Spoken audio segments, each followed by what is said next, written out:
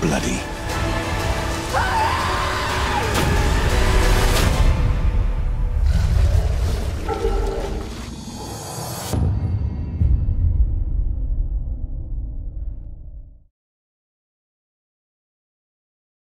Welcome back, everyone. It's Charlie. I know you've all been waiting for some new Witcher since they dropped the teaser trailer back at Comic Con. They just dropped some new footage, so we'll break it down. We also have more details about another big Comic Con panel happening at the end of the month where they'll be dropping even more footage. So if you're brand new to my channel, I'll be doing Witcher videos for all the episodes. Be sure to subscribe to get everything. Because this is a really big deal, I will do giveaways in all those videos, either for the book series or for the games, whatever you guys want. All you have to do to enter those, just be a subscriber and leave your favorite Witcher moment on the video. Starting with the footage, they open with the Butcher of Blaviken scene. It's the same group of scenes that they put in all the trailers, just slightly different versions of what's going on during this moment. The reason why they're hammering down so hard on these scenes is because it's such an important part of Geralt's backstory. He's called the Butcher of Blaviken, but it sort of ties in with the theme of the show that sometimes the monsters are not the worst thing. Sometimes people are way worse than the monsters he's hired to fight. There's no better example of that than the people that are involved in the Butcher of Blaviken, both sides. Geralt sort of gets caught in the middle of this conflict between two different groups of people. It gets a little complicated, but technically he's protecting Stregobor, this sorcerer who's kind of a terrible person himself, from this mob here, but the mob themselves are justified in wanting to kill him. It's just that the things that they do, the lengths that they go to when they're trying to get him, are so extreme that Geralt is forced to try and stop them. I think this is all made better by the fact that Lars Mikkelsen is going to be playing Stregobor on the series, which I feel like is perfect. He plays some really, really great, terrible characters. He played a great villain during Sherlock. So, quick history lesson. A long time ago, Stregobor hired Geralt to get rid of a monster inside the kingdom that he was currently serving. Once Geralt completed the contract, instead of paying him, Stregobor reneged on their agreement and convinced the king that he was a charlatan and had Geralt run out of town so already pretty terrible. During this period, Stregobor is a firm believer in the Curse of the Black Sun, which is a prophecy foretold by a mage that the end of human civilization will come at the hands of 60 girls born during or after certain eclipses. So Stregobor, believing that he's doing good things, goes around full mad scientist vivisecting all these young afflicted girls that he believes will turn into mutants, drowning entire countries in blood. They go around picking girls. It's implied that they wind up killing a bunch of innocent young girls in pursuit of this goal, so everyone kind of hates Stregobor to begin with. He's already proven through his actions that he's not that trustworthy when he ran Geralt out of town without paying him for his contract, but now he's chopping up all these young girls who he thinks are going to turn into mutants. Stregobor is eventually sent to a different kingdom called Creyden because of the queen's suspicions that her daughter, named Renfri, was born under an eclipse and is going to turn into a monster. He spied on her, conducted all these tests, and was convinced that she would turn into a mutant, so he hired a cutthroat to take her into the woods and kill her.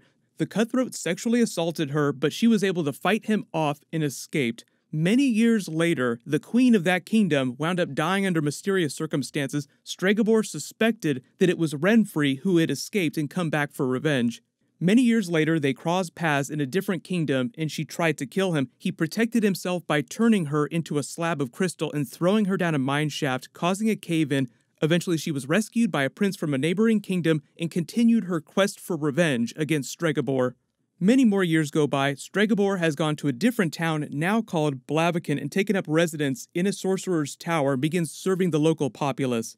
Geralt winds up there on unrelated business. Stregobor asks Geralt to kill Renfri, saying that it's the lesser of two evils because she's completely off the chain in her quest for revenge.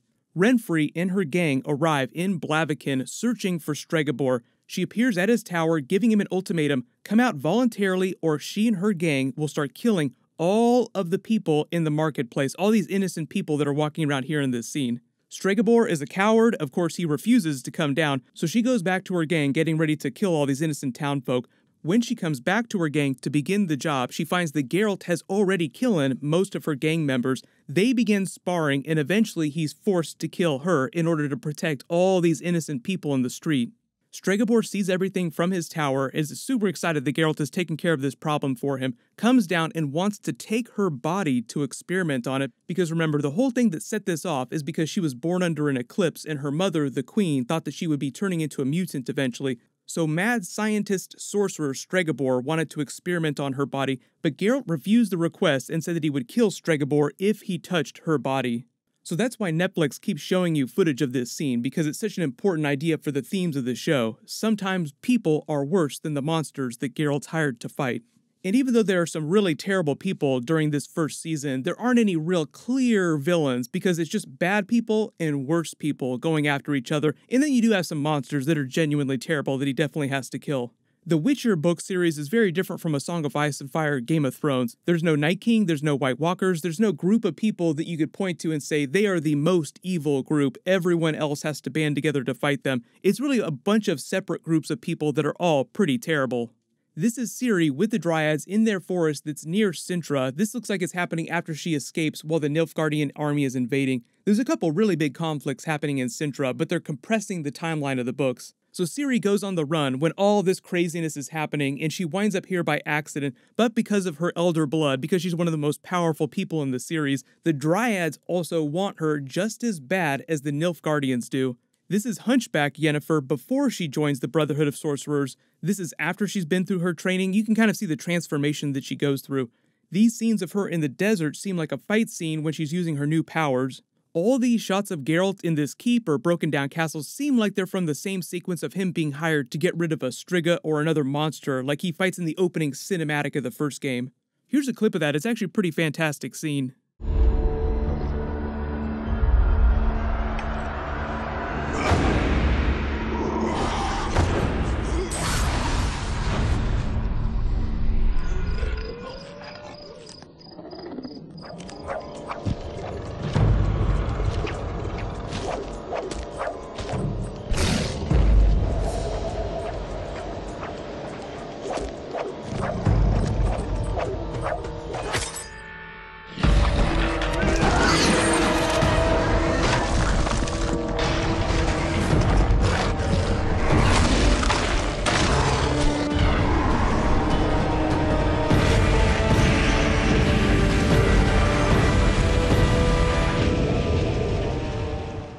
That was meant to be Princess Ada, daughter of King Foltest of Temeria.